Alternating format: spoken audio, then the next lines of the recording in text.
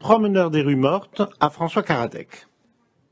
Je suis dans Paris un promeneur des rues mortes, des rues qui ne sont plus, des rues débaptisées, effacées, trucidées, tronquées, amenuisées, rue du contrat social ou rue entre deux portes. Où es-tu, rue Sensée, ruelle des fouetteurs, rue de la Pomme Rouge, rue du Potolet, ruelle des Paillassons, rue du Grand Hurleur,